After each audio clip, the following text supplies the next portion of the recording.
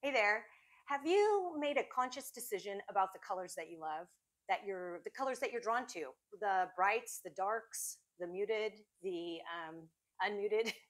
Hey, I, the reason I bring this up is I have struggled always because I follow all these artists and they use a color palette that I think is just beautiful and it's theirs it's their own unique color palette but i never really took the time to figure out what my color palette was. I knew what i liked but i just thought in order to make great art or good art or even bad art that i needed to you know kind of copy what they were doing or use the same colors that they were that they were using. So i, I came up with a little um, idea recently. It's not a new idea people do it all the time swatching out colors but i thought i'm going to go through all my supplies and just start swatching out the colors in order to see which colors I actually like, which things I don't like.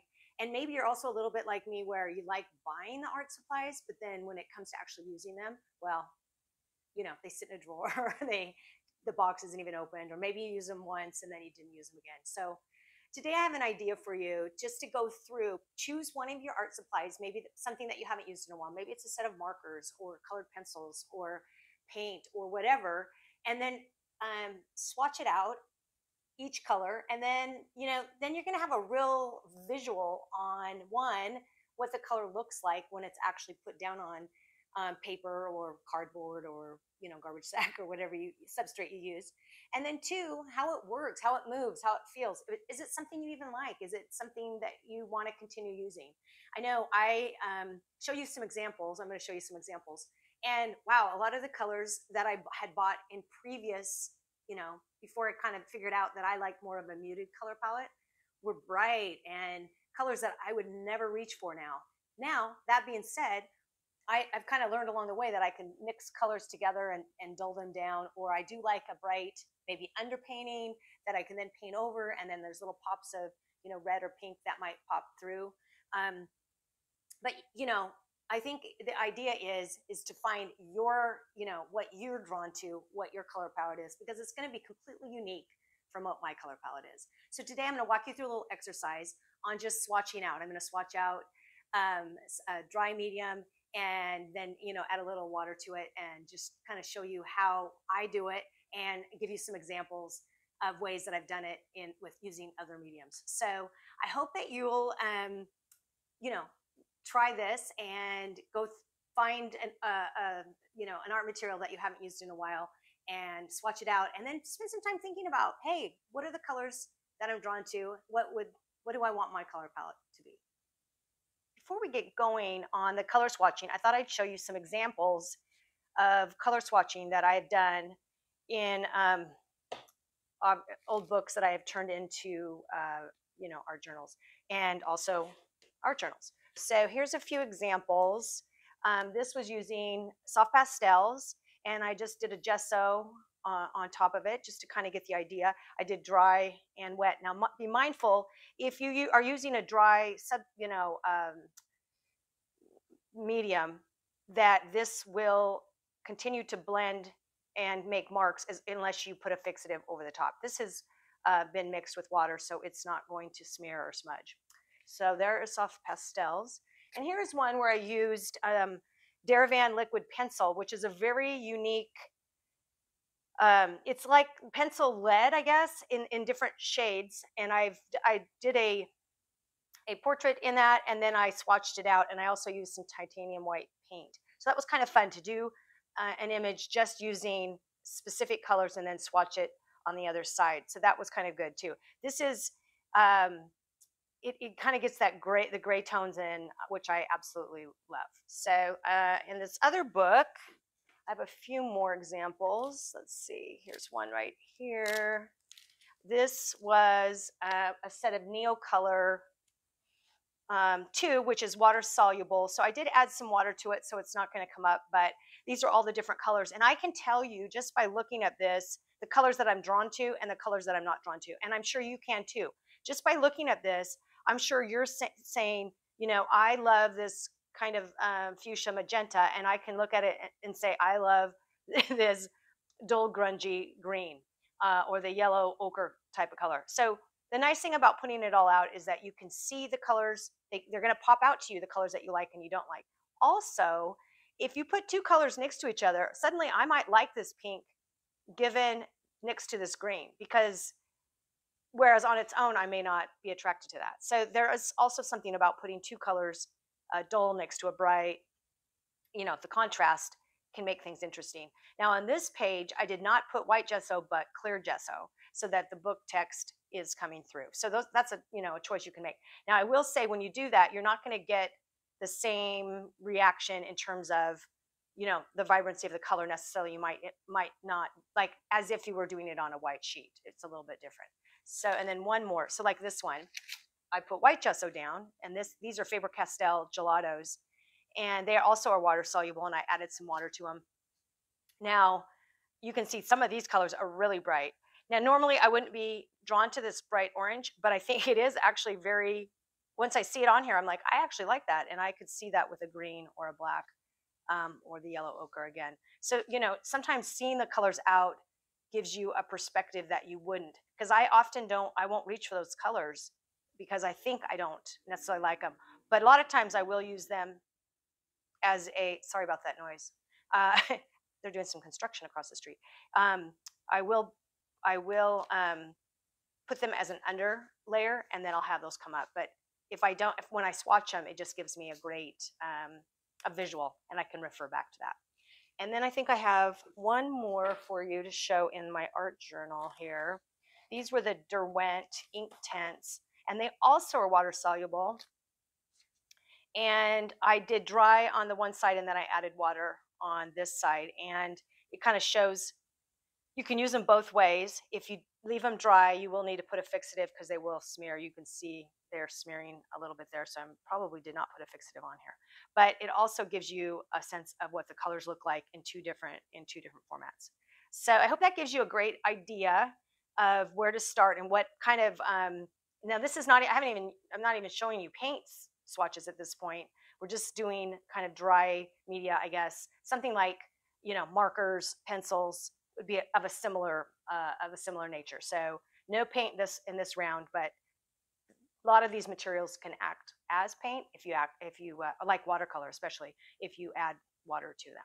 Okay, I've showed you some examples, and now I'm going to show you different substrates or pieces that you could use to um, use to make your color swatches. Obviously, you could use a, a, book converted into an art journal, kind of like what I showed you earlier, a actual art journal or a sketchbook. Now, I will say if you use a sketchbook and you add water to it, because the paper tends to be a little bit thinner, you might get some wrinkling. And if that doesn't bother you, then it's no problem.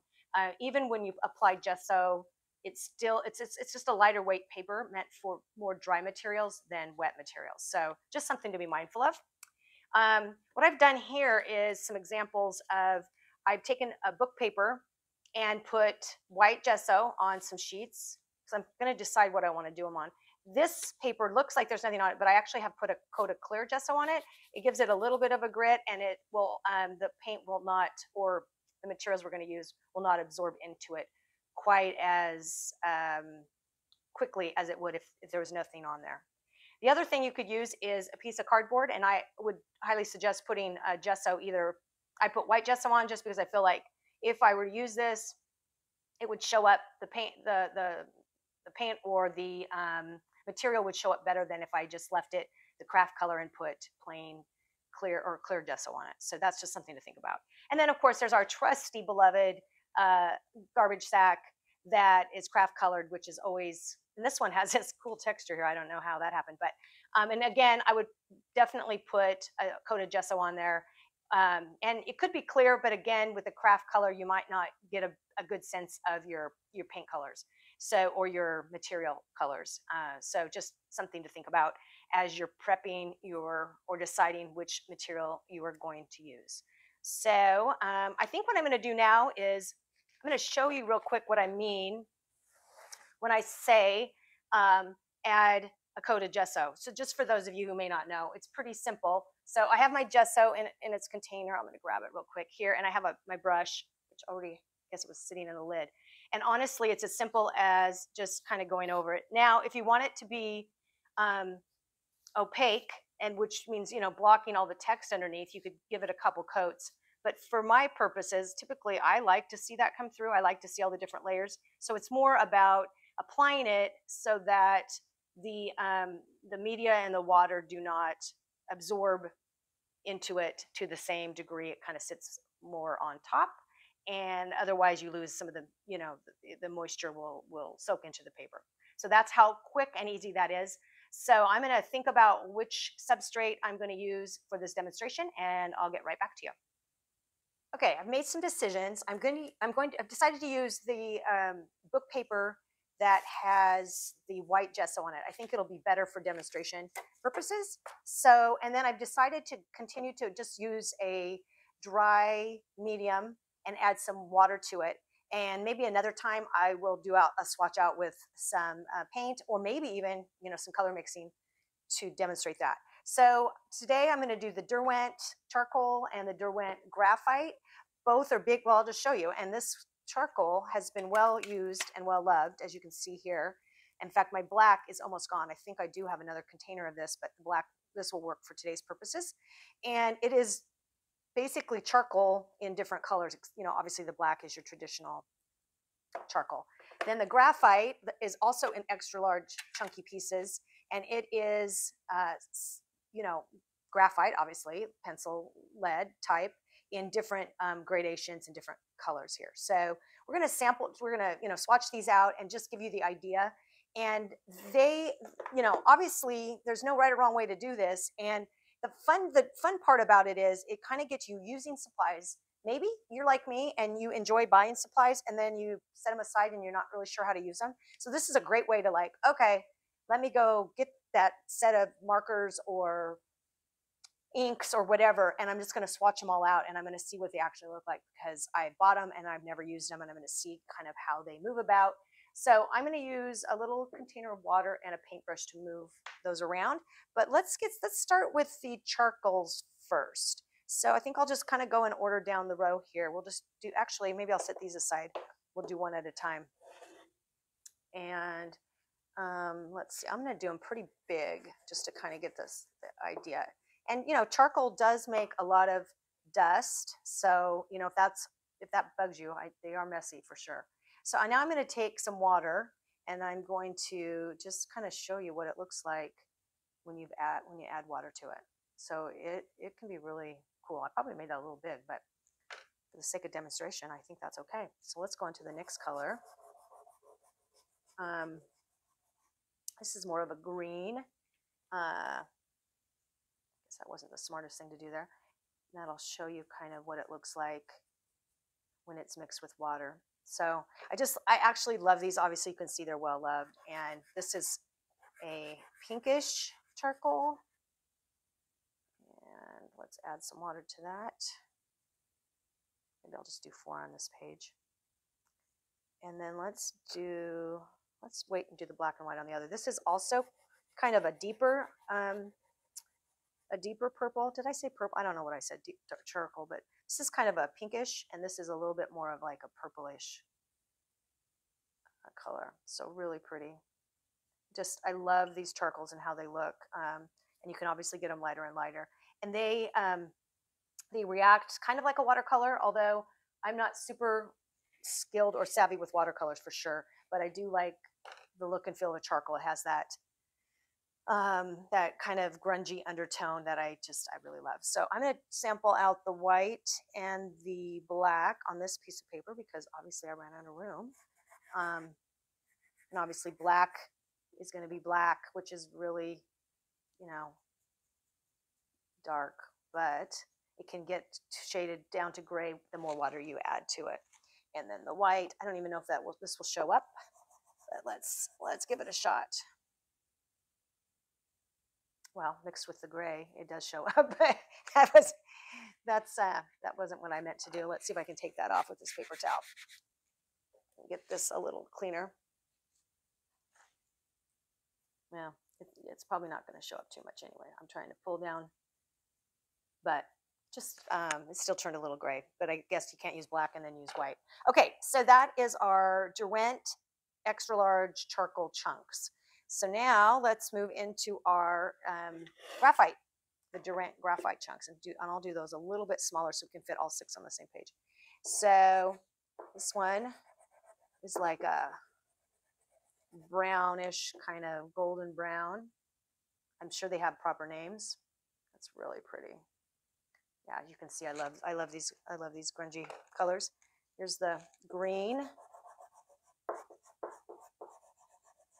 And just using these right now, I'm thinking, oh my gosh, I have not, I don't, haven't used my, my, uh, my graphite blocks in a while, and they're so, I, they're so cool. I love, I'm loving them. So this is a reason, you know, you, sometimes it's good just to take stuff out because, and look at this blue. Oh my gosh, um, because it'll remind you of materials that maybe you haven't used and that you love. And you know, I think I mentioned I'm really drawn to these kind of kind of more grungy colors. So obviously I'm swatching things that have the undercolor is like gray, the undercolor is, you know, black or whatever. So these are beautiful. This actually looks very similar to the charcoal kind of pinkish purplish color. Okay, two more. This is your traditional gray, it looks like, what you would think a graphite would be. Okay, and then one more. This might be a little bit darker color, yeah.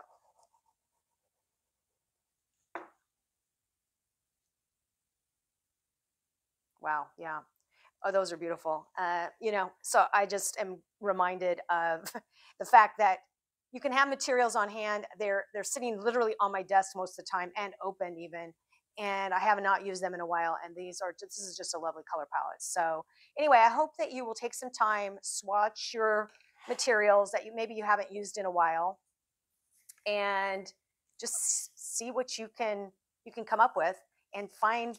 You know, you might be surprised at um, what you have on hand and the colors that you're really drawn to. Wow, you know, like I'm really it's I'm being I'm right now being I'm very inspired to go make something with uh, my charcoal blocks and my graphite blocks. So I hope you um, take your materials, swatch them out, find your colors, and go do something super creative and super fun.